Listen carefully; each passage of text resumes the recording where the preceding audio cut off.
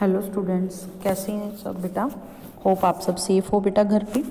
हमारा जो business environment है, उसका हम नेक्स्ट चैप्टर आज स्टार्ट करने जा रहे हैं, जो कि है international trading environment very important chapter बेटा लॉन्ग क्वेश्चन आता है इंटरनेशनल ट्रेडिंग इन्वायरमेंट के चैप्टर में से।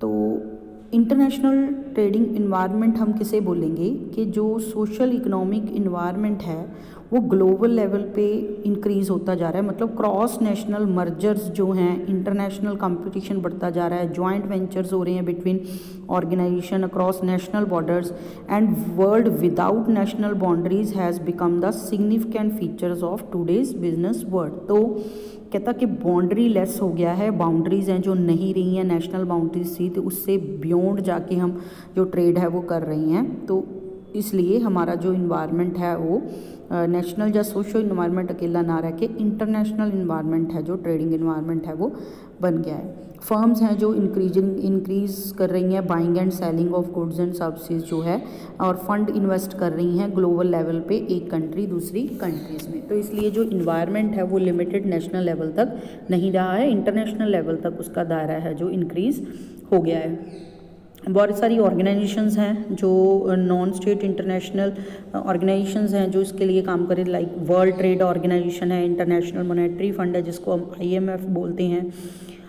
International bank for reconstruction and development है आईबीआरडी जो हमारा है। All affiliated bodies of United Nations international treaties संधियाँ जो होती हैं आपस में, वो इंटरनेशनल ट्रेड एग्रीमेंट्स हैं। तो इन सब के ज़रिए जो हमारा इंटरनेशनल ट्रेड है, वो ग्रो कर रहा है।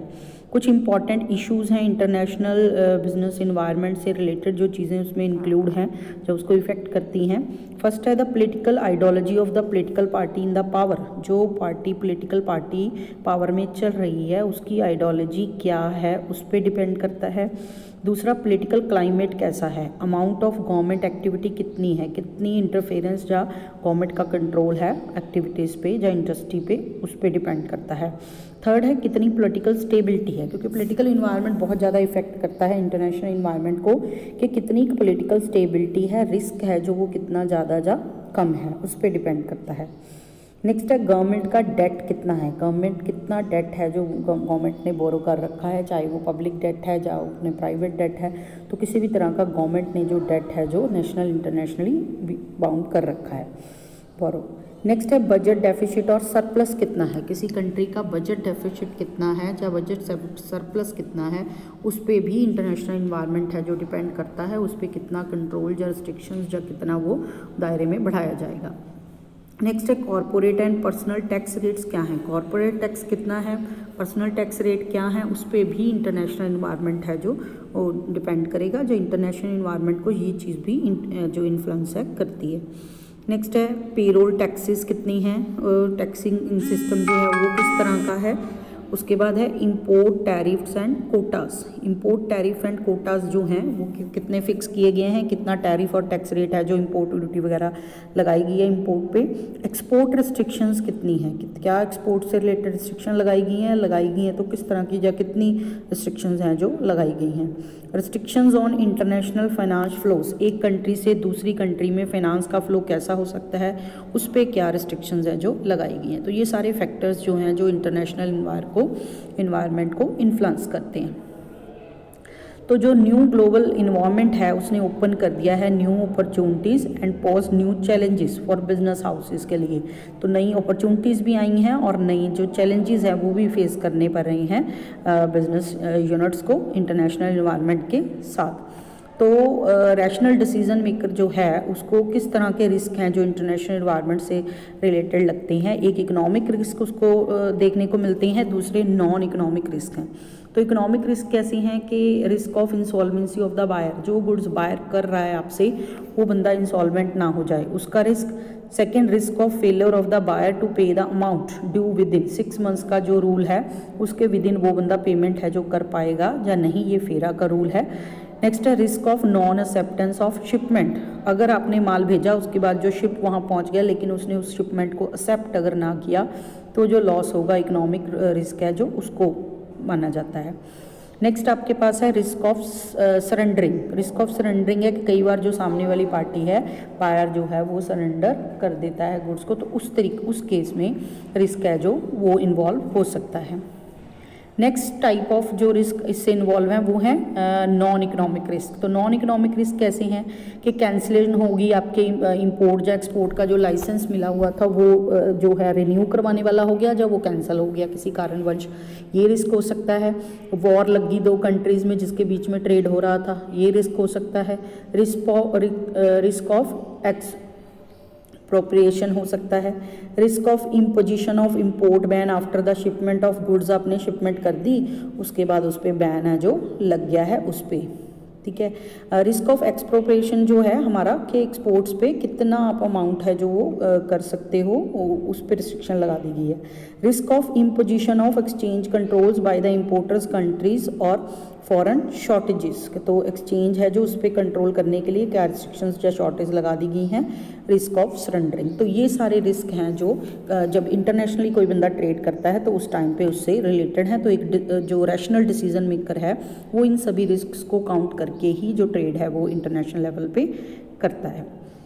इसके बाद हमारे पास आ गया इंटरनेशनल ट्रेड है क्या? तो international trade refers to the trade between residents और बिटवीन रेजिडेंट्स एंड गवर्नमेंट और बिटवीन गवर्नमेंट ऑफ़ टू और मोर कंट्रीज़ तो रेजिडेंट्स का एक कंट्री के रेजिडेंट्स का, दूसरी कंट्री के रेजिडेंट्स के साथ या एक कंट्री की गवर्नमेंट का, दूसरी कंट्री की गवर्नमेंट के साथ या एक कंट्री की गवर्नमेंट का, दूसरी कंट्री के रेजिडेंट्स के साथ जो भी ट्रेड किया जाएगा, उसको हम क्या बोलेंगे? इंटरनेशनल ट्रेड बोलेंगे और हम क्या कह सकते हैं? बियॉन्ड नेशनल बाउंड्रीज एक कंट्री की जो भी ट्रेड किया जाएगा, उसको हम क्या बोलेंगे? International trade according to Wasserman and Hultman है जो international trade consist of transactions between residents of different countries तो इंटरनेशनल ट्रेड है जो, वो डिफरेंट कंट्री के जो रेजिडेंट्स हैं, उनके बीच में जो ट्रेड किया जाता है उनको क्या बोला जाएगा? इंटरनेशनल ट्रेड तो लेकिन जो इंटरनेशनल ट्रेड है, हमेशा वो सस्पेक्टेड रहा है। क्यों? क्योंकि जो हमारा इंडिया है, जैसे कि ये जो इंडिया है ruled over and exploited by Britishers जो अंग्रेज़ों ने कंट्रोल कर रखा था जो डिपेंडेंट बना रखा था for about 200 hundred years through this international trade है जो के ज़रिए।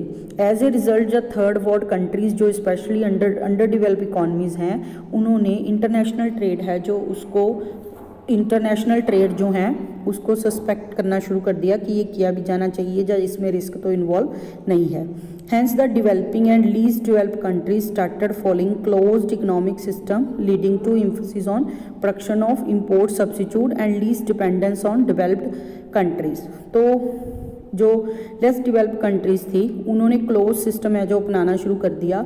तो उन्होंने प्रोडक्शन है जो इम्पोर्ट सब्सिट्यूट बनाने शुरू कर दिए और लीज डिपेंड रहना शुरू कर दिया डिवेल्प्ड कंट्रीज़ से ऊपर। इस कारण, क्योंकि इन रिस्क के कारण कि वो कंट्रीज़ जो हैं, वो उनके ऊपर कंट्रोल है जो ना कर दें। लेकिन During the past two decades, world has observed a significant trend of rapid and sustainable growth of international trade. तो पिछले टू डिकेड से बहुत ज़्यादा ग्रोथ हुई है। Recently emerge models of liberalisation globalisation जो हमारा हुआ है उसके कारण इंपोर्ट को लिबरलाइज कर दिया गया है और ज़्यादा इन्फोसिस की गई है एक्सपोर्ट प्रमोशन के ऊपर। तो हमारी जो लिबरलाइजेशन हमारी ग्लोबलाइजेशन और प्राइवेटाइजेशन जो पॉलिसी आई है उसके बाद।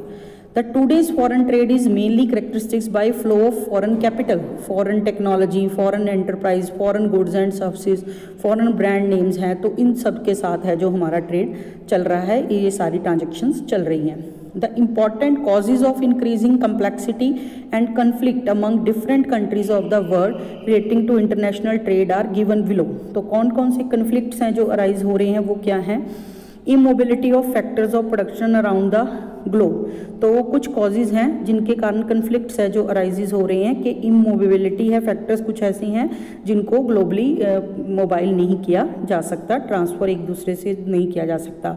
डिफरेंट करेंसी सिस्टम है डिफरेंट कंट्रीज़ से। एक प्रॉब्लम ये है। थर्ड है different economic and trade policies followed by different countries अलग अलग तरह की economic and trade policy follow करती हैं। Size and nature of markets है जो डिफरेंट कंट्रीज़ के अलग अलग हैं। पॉलिटिकल सिस्टम डिफरेंट है सभी कंट्रीज़ का आपस में डिफरेंट टैरिफ रेट हैं क्वांटिटेटिव और क्वालिटेटिव जितने भी आ, हमारे टैरिफ लगाए गए हैं वो डिफरेंट है एक दूसरे से कंट्रीज़ के। जोग्राफिकल कंसिड्रेशन डिफरेंट है। एक कंट्री की दूसरी कंट्री से जो जोग्राफिकल कंसिड्रेशंस हैं, वो एक दूसरे से मैच नहीं करती। Difference in quality of human capital different countries की जो क्वालिटी ऑफ़ ह्यूमन बींग है, वो डिफरेंट है और कैसी उनकी नॉलेज जो स्किल्स हैं। Nature and size of economic development है, वो डिफरेंट है। सब कंट्रीज़ का एक दूसरे से और डे बाय डे जो आईएमएफ है इंटरनेशनल मॉनेटरी फंड है वर्ल्ड ट्रेड ऑर्गेनाइजेशन है वर्ल्ड बैंक है अदर नॉन स्टेटेड बॉडीज़ हैं, उनका role day by day increase होता जा रहा है। इट मीन्स कंट्रोल है जो उनके हाथों में होता जा रहा है। अवेलेबिलिटी ऑफ़ नेचुरल रिसोर्सेज हैं जो डिफरेंट डिफरेंट है हर कंट्री में। एंड टेक्नोलॉजिकल एडवांसमेंट का लेवल जो है वो भी डिफरेंट है एक दूसरे से सभी कंट्रीज़ का। तो ये कुछ रीजंस भी हैं जिनके कारण हमारी जो इंटरनेशनल ट्रेड है जो उतना सक्सेसफुल है, जो उतना ग्रोथ है, जो नहीं कर पा रहा तो कुछ कॉम्प्लेक्सिटी एंड कन्फ्लिक्ट आ रही हैं, लेकिन फिर भी जो इंटरनेशनल ट्रेड है, वो डे बाई डे जो है इंक्रीज़ हो रहा है, क्योंकि ग्लोबलाइजेशन के बाद इसकी इंपॉर्टेंस है जो बहुत ज़्यादा इंक्रीज़ हो गई है। तो ये था बेटा हमारा, हम आज का टॉपिक मिलते हैं नेक्स्ट वीडियो में